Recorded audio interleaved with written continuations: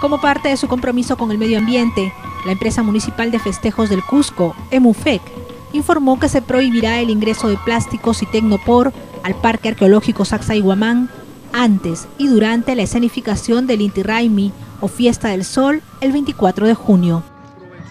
El presidente del directorio de EMUFEC, Fernando Santoyo, dijo a la agencia andina que se reproducirá la experiencia del camino inca que conduce a Machu Picchu al que los turistas ya no pueden llevar este tipo de productos, según disposición del Ministerio del Ambiente, MINAN.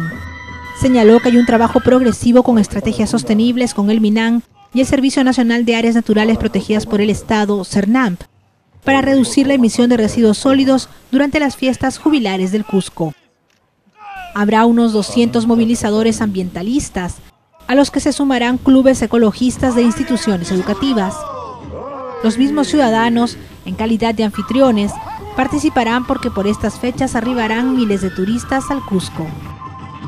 Santoyo refirió que por estas fechas en el centro histórico del Cusco se acumulan unas 40 toneladas de basura y solo durante la escenificación del Inti Raimi unas 20 toneladas, situación que este año se espera revertir.